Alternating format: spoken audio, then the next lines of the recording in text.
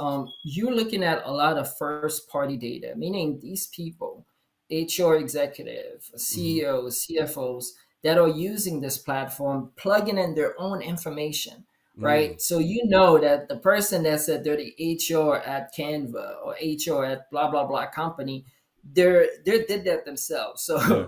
that's already verified, right? So that first party data is huge, and, and because of that, you have that level of targeting that we didn't fully have before. Yeah, you can do that sometime on Facebook, but the challenge there sometimes is some people don't put that in their Facebook because it's more personal. Mm-hmm. So you don't know if that person is the director of HR at XYZ company because they don't say that in their Facebook, right? right. It's just for the friends and family.